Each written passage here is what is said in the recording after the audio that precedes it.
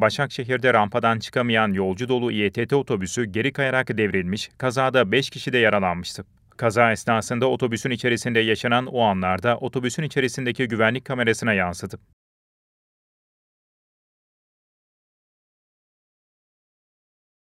Kaza 19 Eylül 2023 tarihinde saat 15.30 sıralarında Güvercintepe Mahallesi Yeşilyurt Sokak üzerinde meydana gelmişti. MK 11 hat numaralı Olimpiyatköy Metro Güvercintepe seferini yapan yolcu dolu İETT otobüsü rampayı çıkamayarak kaymaya başlamış geri geri kayan otobüs önce yol kenarındaki bir sitenin duvarındaki elektrik direği ve doğalgaz kutusuna çarpmıştı. Kaymaya devam eden otobüs yaklaşık 50 metre sonra devrilerek yan yatmış. Kaza esnasında otobüs içerisinde bulunan 5 yolcu yaralanmıştı.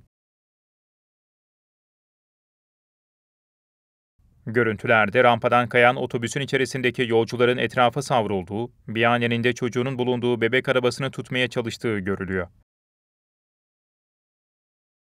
Görüntülerin devamında kaymaya devam eden otobüs metreler sonra devrilerek yan yattığı görülüyor.